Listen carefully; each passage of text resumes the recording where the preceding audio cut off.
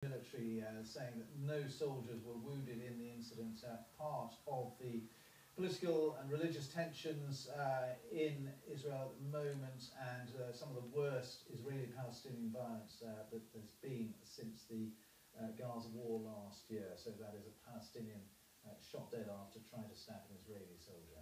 More on that as it comes into us. Now, our latest news headlines here on BBC News. A review has been announced tonight into the powers of Parliament after the government said the House of Lords overreached itself in last night's tax credits vote. The Chancellor says he will push ahead anyway with the benefit cuts after his defeat, but there will be concessions.